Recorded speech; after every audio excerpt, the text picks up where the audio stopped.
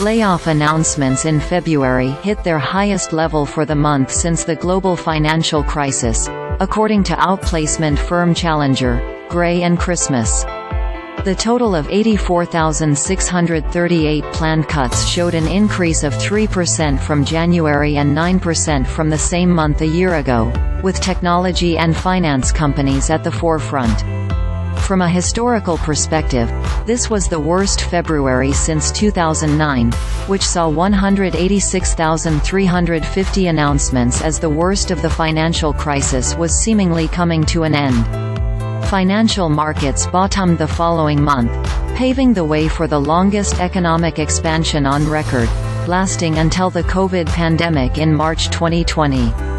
For the year, companies have listed 166,945 cuts, a decrease of 7.6% from a year ago. As we navigate the start of 2024, we're witnessing a persistent wave of layoffs, said Andrew Challenger, the firm's labor and workplace expert.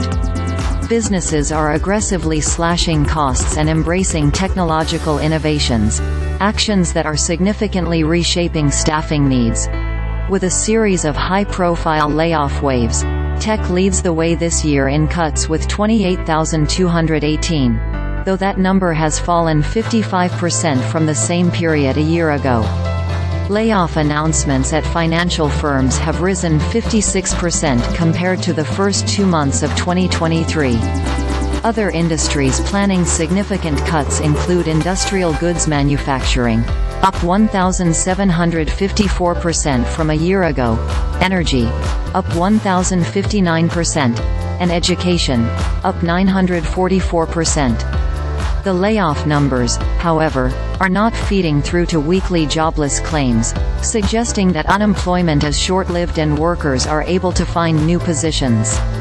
Initial filings for unemployment insurance totaled 217,000 in the most recent week, unchanged from the previous period and exactly in line with Wall Street estimates. Challenger's experts say companies most often cite restructuring plans as the main reason for the reductions in workforce. Artificial intelligence has been cited for just 383 cuts, though, technological updates, in general have been at the root of more than 15,000 reductions, or nearly as much as all the years combined since 2007.